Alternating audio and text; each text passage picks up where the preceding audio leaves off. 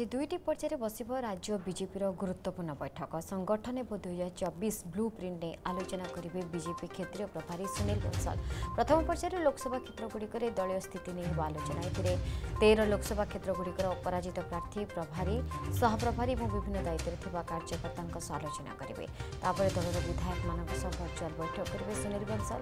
সংগঠন এবং দুই হাজার চব্বিশ ব্লু প্রিন্ট হব আলোচনা এসহ রাজ্য সভাপতি ও সাধারণ সম্পাদক মান সাংগঠনিক চর্চা ও আলোচনা